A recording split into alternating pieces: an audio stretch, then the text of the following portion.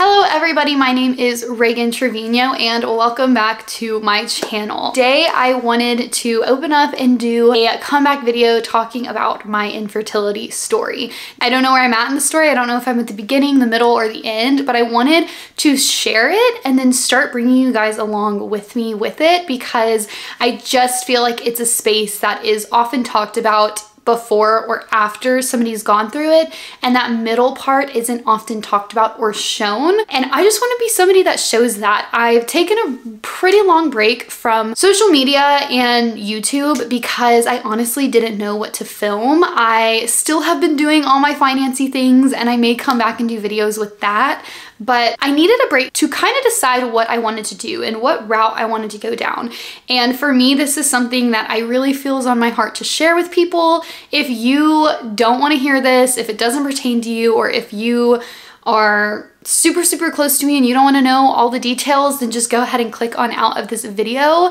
But I wanted to share it for the people who need to hear it and who need to feel like they're not alone going through something. So I know that people's stories all differ. Some people's are way longer than mine, some people's are way shorter than mine.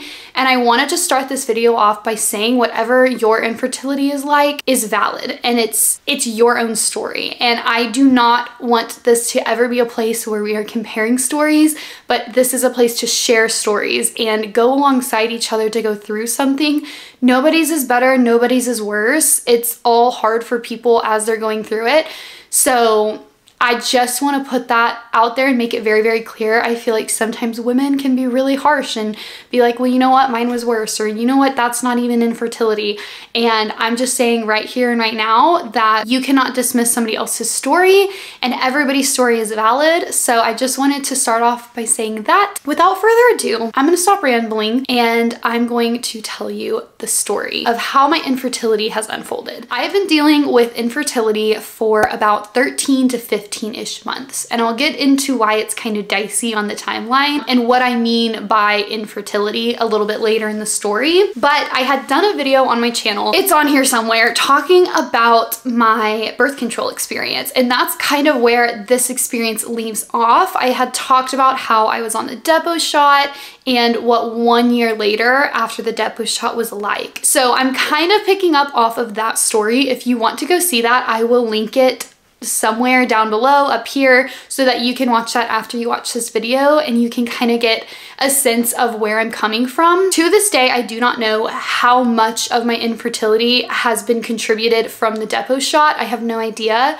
I have been told by my doctor at this point that it can cause a woman to have a hard time to get pregnant for up to two years, which is something that I was not aware of when I took that shot. I took the Depo shot last in October of 2020 two. I had decided to take the Depo shot because I was having intense migraines and I was having a lot of my dysautonomia issues at the time. I decided very quickly when I got that shot, it's like something in me was like, I actually want a kid soon. I think not having the ability to get pregnant kind of showed me that that was something that I didn't want to prevent. And I just started praying about it. It wasn't something I just got married in December. It wasn't something that I was going to like hop on, but I started reading books about fertility.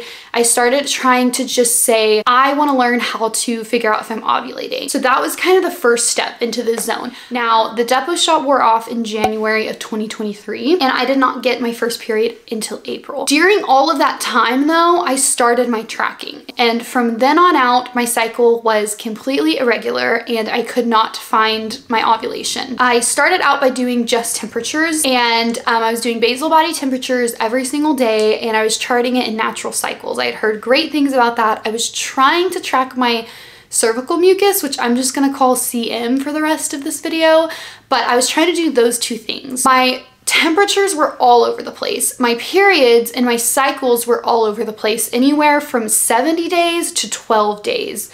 It would be like 12, 26, 50, 30, 45, 19. They were just going all over the place. My cervical mucus was not following any sort of pattern. It was very, very random. I tried doing this for a while and just thought, maybe my temperatures aren't working because I have dysautonomia and I don't regulate my temperatures very well. So maybe um, that's messing it up. I believed that for a very long time. And at this point, I wouldn't say that we were like trying, trying, but I was trying to find my ovulation and I could not find it. No matter what I did, I couldn't find it. But you can't really try if you can't find an ovulation. So it's very, it's very difficult. Anyways, I do that for a while. The temperature in the CM, it's not working. So I decide to start doing ovulation sticks in addition to. I keep doing this. This is probably mid-summer of 2023.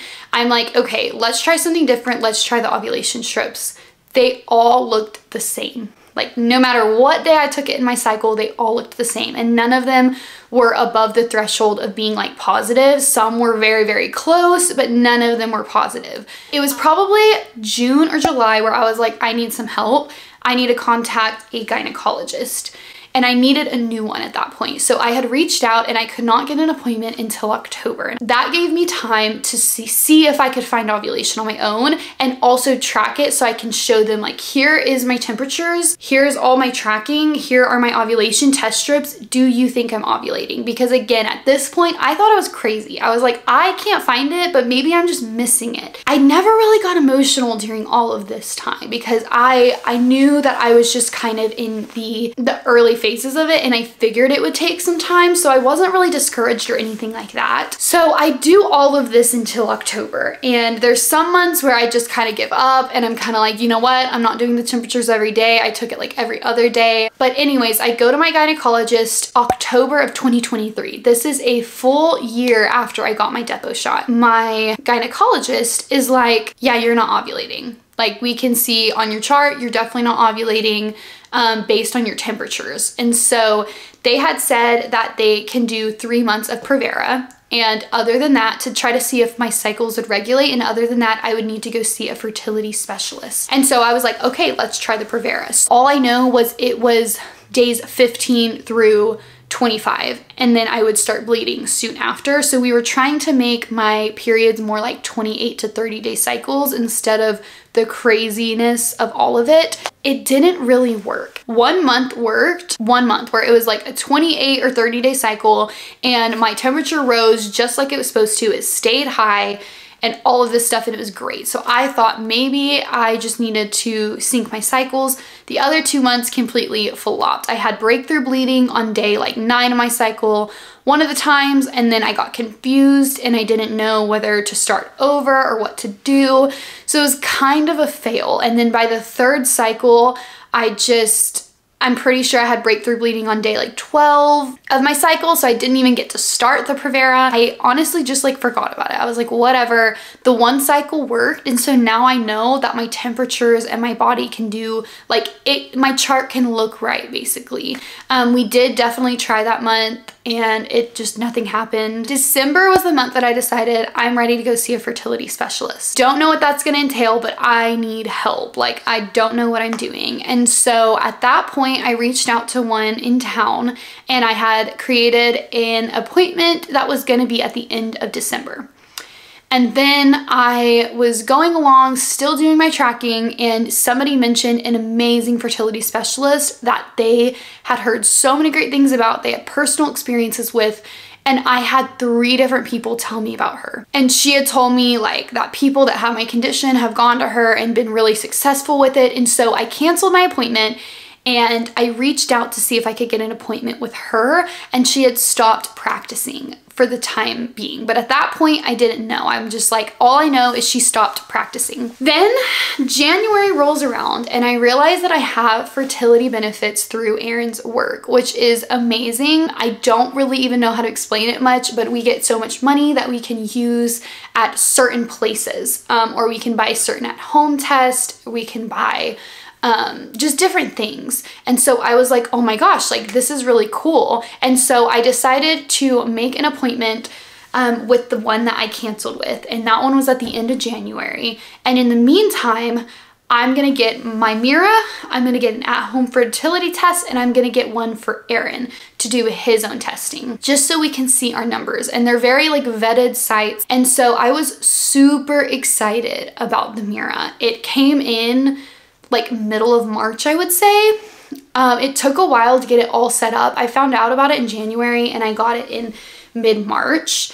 Um, and then right a week before my appointment in January, four people came and told me about this other person that was amazing. It was the same person the other girl had told me about. And so I started looking her up and realized that she was actually practicing but at a different location.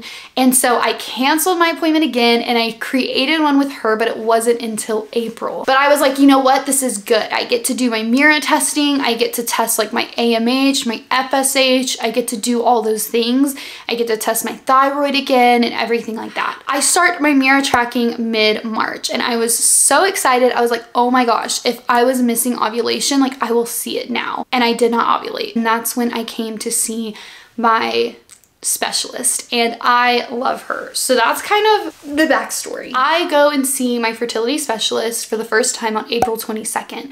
And as soon as I got there, we did a transvaginal ultrasound and um, we did some blood work. What we found, and we looked at my Mira chart as well. She was like, that's amazing to have this Mira chart. It's like me being able to see your hormones at home um, in real time. What all of that said was my uterus looked great, my right ovary looked great, but I had a 3.3 centimeter cyst on my left ovary. Basically, what these three things confirmed with my Mira, my blood work, and the ultrasound was that I was having an estrogen dominance because of the cyst and that was causing me to not ovulate because my FSH and my LH levels were not able to rise like they should to spark a mature follicle to grow and then be released. That's the best way that I understood it. I may be off a little bit and I'm sorry if I am. Definitely don't take this as like medical advice. So we came up with kind of a plan. She told me that I could get an SHG if I wanted or I can kind of put that on hold and wait until we get the cyst